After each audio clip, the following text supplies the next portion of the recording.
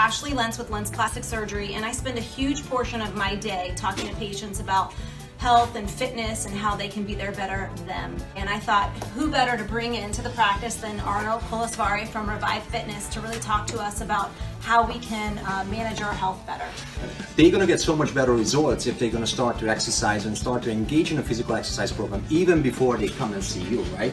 Because it has to take a, take on on a lifestyle change. Everybody has to take on a lifestyle change to be able to get great results with that. The only way if you're going to make it make a change. So you have to know about your nutrition. You have to uh, start to engage in a physical exercise program to make sure that you're going to hold on to that what you achieve with your great hands and knowledge.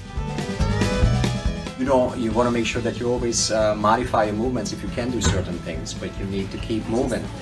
You want to also stay mobile. You want to stretch those muscles, not just constantly strengthening them.